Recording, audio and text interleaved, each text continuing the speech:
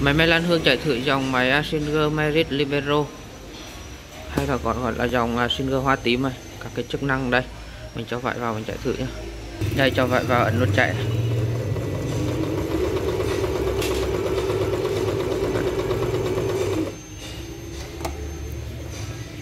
máy qua đường zigzag này quay cái nút bên này, số 5 mình chỉ cần lái vải phía đằng trước thôi. Đấy. con này chạy nghe rất là êm.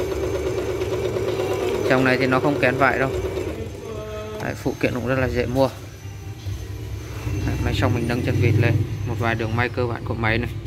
Máy zigzag chắc này máy thẳng này đường nối chun đường nối chun này đường may nửa vầng trăng này. Các cái đường may ở trên này. Chạy cho một vài đường. Con này à, mẫu mã cũng rất là đẹp.